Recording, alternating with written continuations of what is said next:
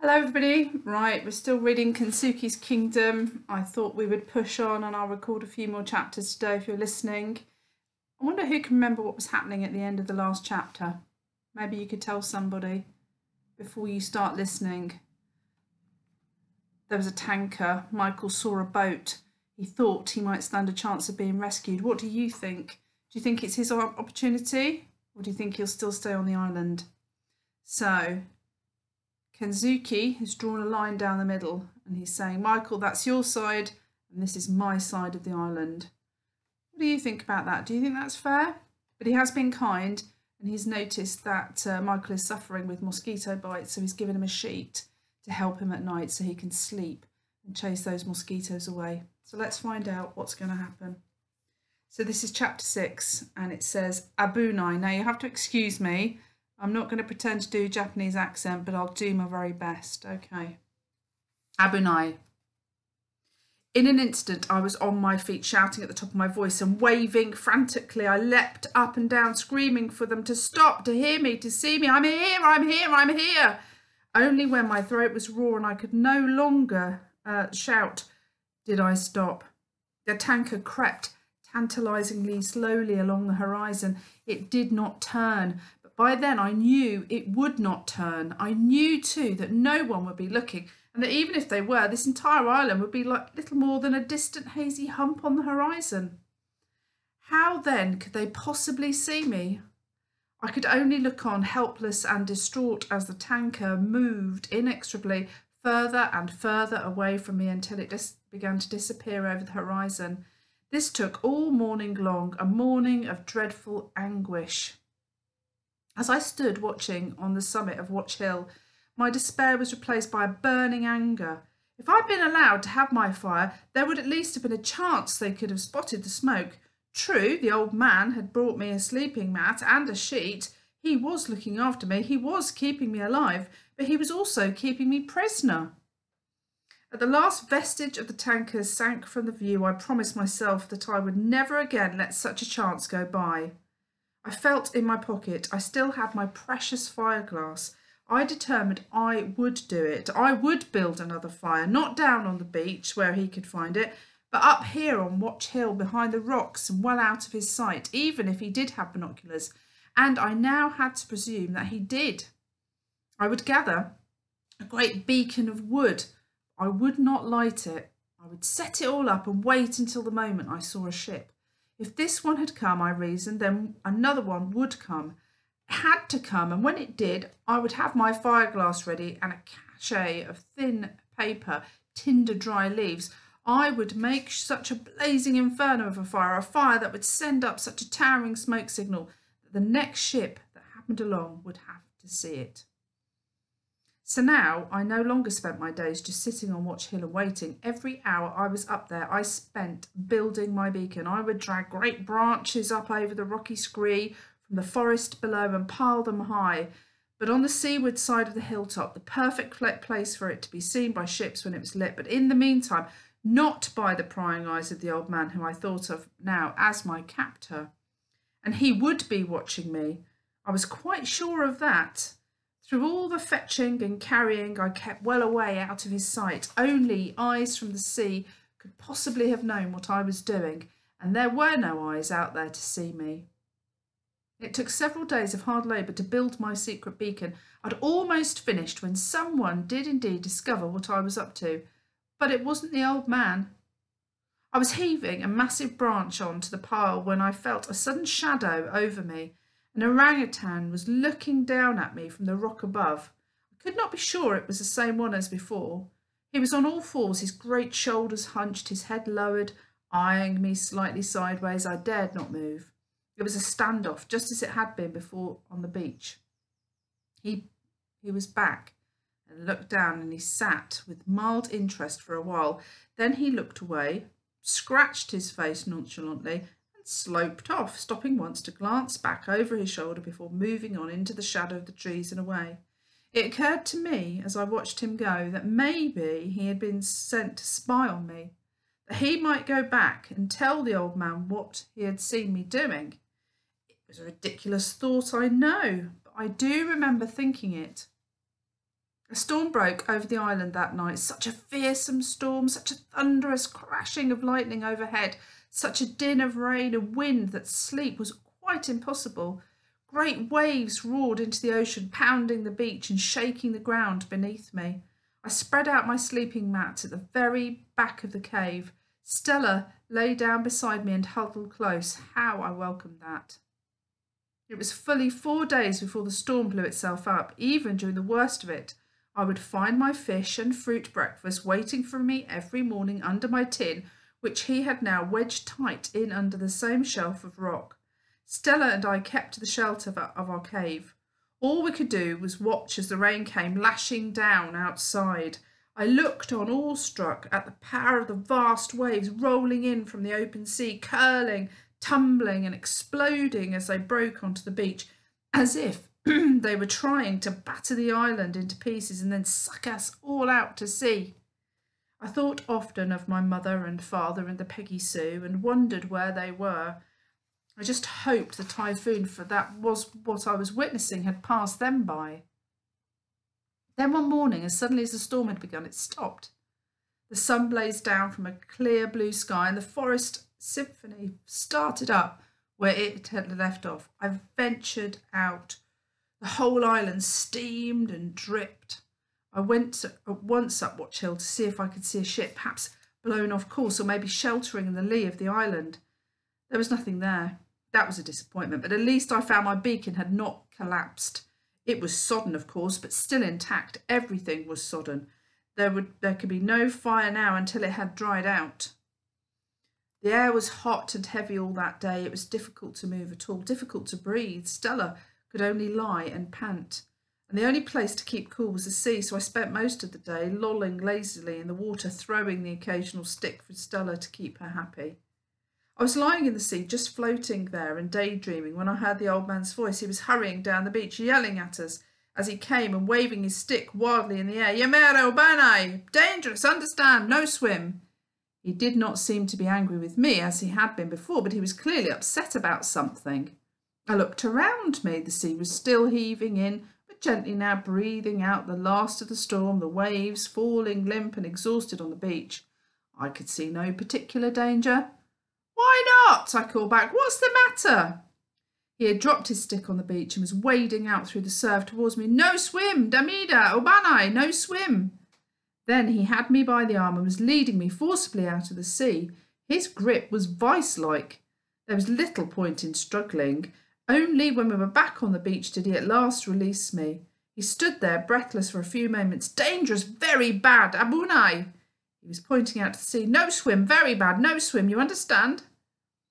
He looked me hard in the eye, leaving me in no doubt that this was not meant as advice. This was a command that I should obey. Then he turned and walked off into the forest, retrieving his stick as he went. Stella ran after him, but I called her back. I felt at that moment like defying him openly. I would cha- change, I would charge back into the sea and frolic as noisily, as provocatively as I could. That would show him. I was bristling at the outrageous unfairness of it all. First, he would not let me light my fire. Then I was banished to one end of the island, and now I wasn't even allowed to swim. I wanted to call him every name that I could think of, but I didn't. I didn't go swimming in the sea again either. I capitulated.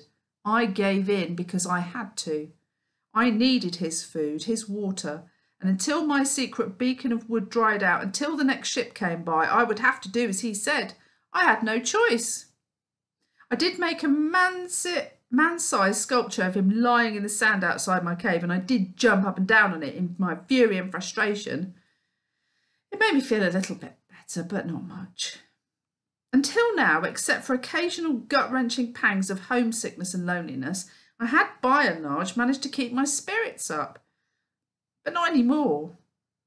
My beacon stayed obstinately damp. Every day I went up Watch Hill hoping to sight a ship, and every day the sea stretched away on all sides empty.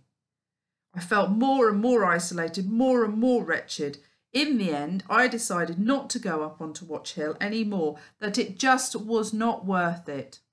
Instead, I stayed in my cave, Curled up on my sleeping mat for long hours during the day, I lay there drowning in my misery, thinking of nothing but the hopelessness of it all.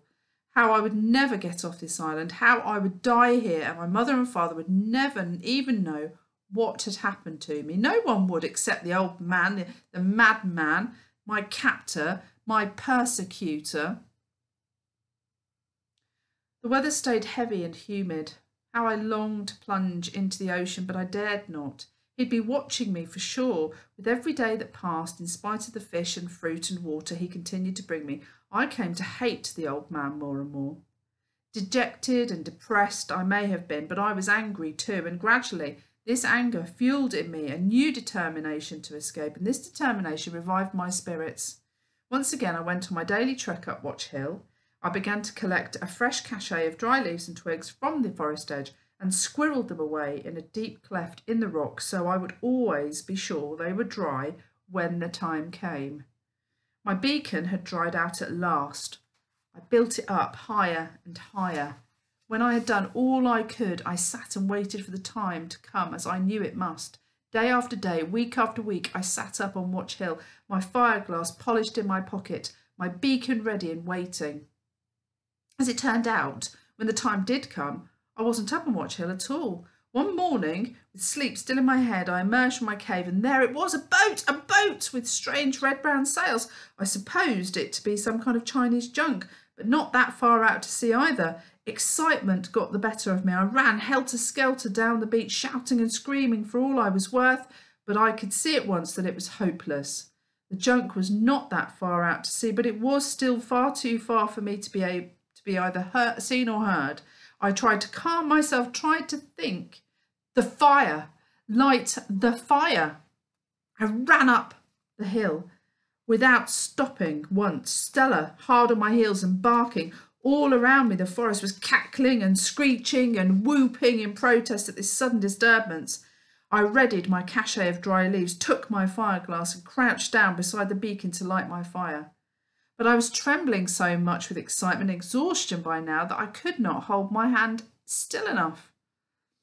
So I set up a frame of twigs and laid the glass over it, just as I had before. Then I sat over it, willing the leaves to smoulder. Every time I looked out to see the junk was still there, moving slowly away, but still there. It seemed an age, but there was a wisp of smoke, and shortly afterwards a glorious, wondrous glow of flame spreading along the edge of one leaf. I bent over it to blow it into life. Then that was when I saw his feet. I looked up. The old man was standing over me, his eyes full of rage and hurt. He said not one word, but set about stamping out my embryo fire. He snatched up my fireglass and hurled it into the rock below, where it shattered to pieces. I could only look on and weep as he kicked away my precious pile of dry leaves, as he dismantled my beacon and the, hurled the sticks and branches one by one down the hill. As he did so, the group of orangutans gathered to watch. Soon, nothing whatsoever now remained of my beacon. All about me now, the rocky scree was littered with the scattered ruins of it. I expected him to screech at me, but he didn't. He spoke very quietly, very deliberately. Damida, he said.